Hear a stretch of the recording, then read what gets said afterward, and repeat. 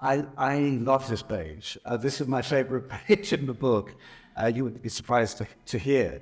Uh, I think that's partly because, in a way, it references, and it's the only reference in the, in the book, to the fact of them being played on stage by these, by these people. Um, and I think they're there to, to bear witness to how much influence they had on the writing of those plays.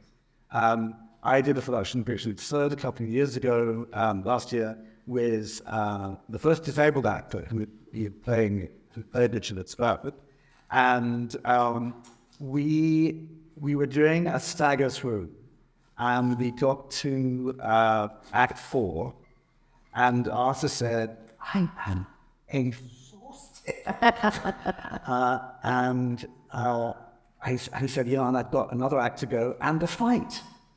Um, and I said, you know, I think that that's exactly what Richard Burbage came on stage and said to William Shakespeare and said, Bill, it's a great part. Don't get me wrong, but never do that to me again.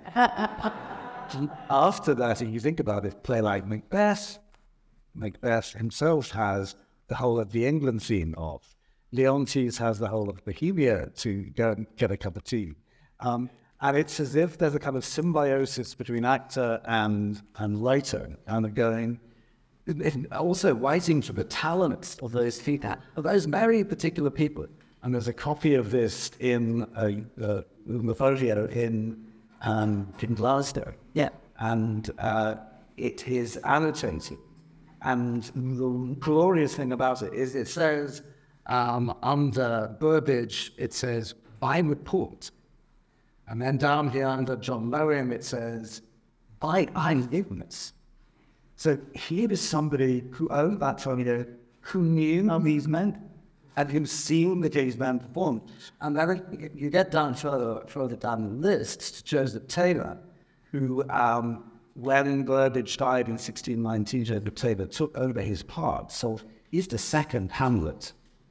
Um, and it says, K.N.O. Dobbin calls to you, Joseph Taylor and Robert, Bench, Robert Benfield.